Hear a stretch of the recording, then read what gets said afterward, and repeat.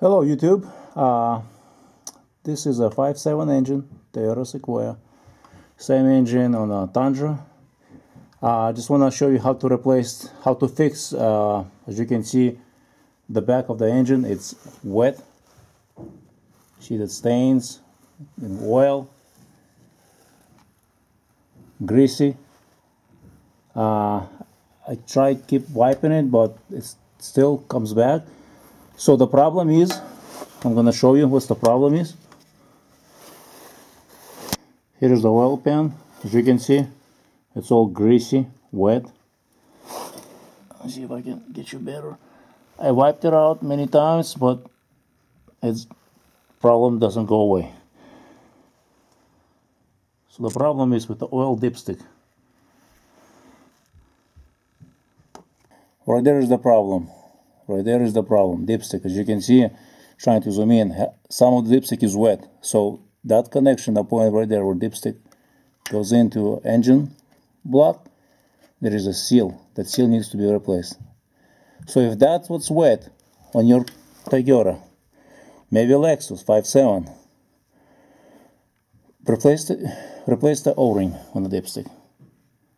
But if it's not, or if the dipstick is dipstick tube is dry, then you have other problems. You have to look into it. So I'm going to show you how to replace it, what steps you have to take it. Here is another view of the dipstick.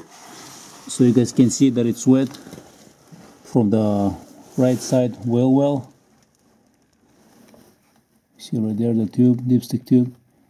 And before you remove the tube, make sure it's all clean around it, you know, wipe all any grease out so nothing gets inside when you remove the dipstick. See right there it's all wet.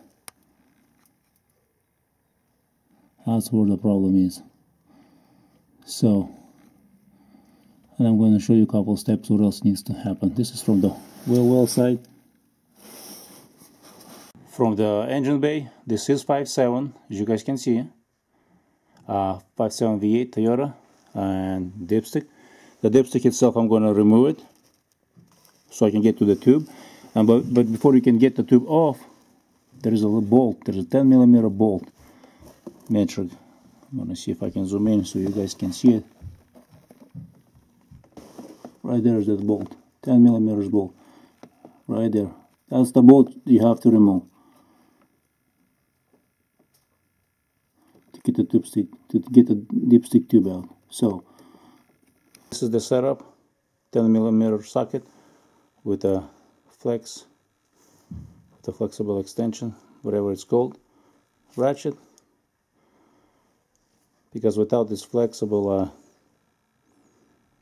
flexible extension uh, you're not gonna get to it. There's just not enough room. So. One more thing. See that space around the tube? There's a good about probably 330 seconds, maybe 1 8.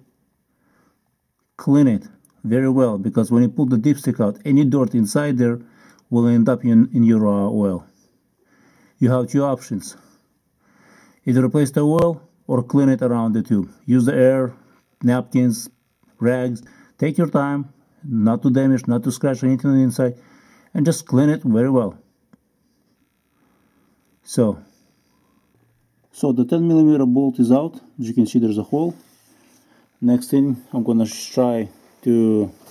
I'm gonna show you the bolt itself. So, so here is the bolt, small bolt.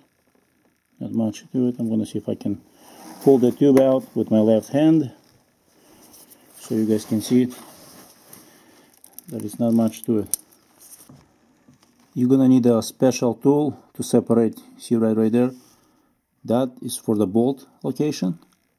And this is where it attaches the wire. Where I earlier said to cut, you don't cut. There is a, it's a clip that goes inside that hole. And let me show you what tool to use it, how to separate that. So this is the tool you would have to use, something like that. And you would carefully, uh, let me show you if I can, between the wires and this location here put it, twist it, and it will come out. Let me show you what's the wire around the wire. You see right there, that's that's what I was talking about, that piece. Or the wire clip. You can cut it if you want it, but or you can just you know using the tool you can remove it. So so the bolt came out, the clip came out, so the tube is right there as you can see it. I'm gonna see if I can just pull it out. It should come out easily with no yep. Adjust.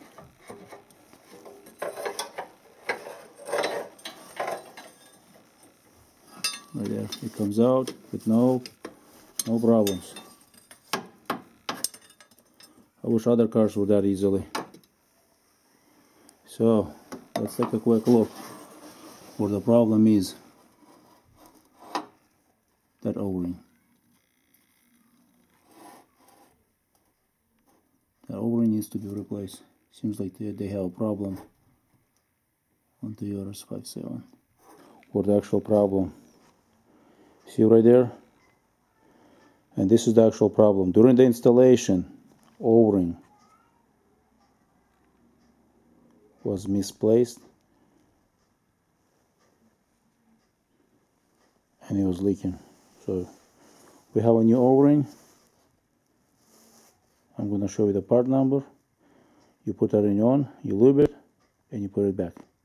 And this is the top of the tube.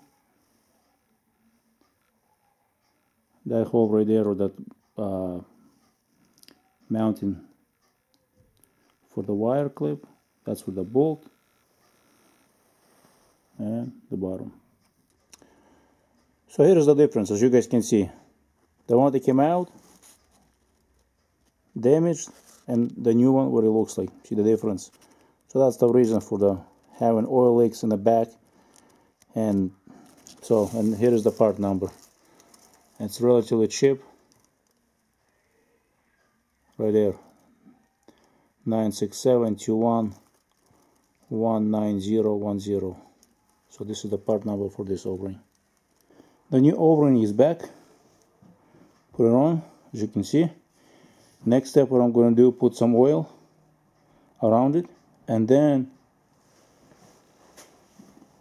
I'm going to use the, that bag that it came that bag put this tube inside the bag, wrap it when I put it underneath, when I get underneath so I don't get any dirt on it.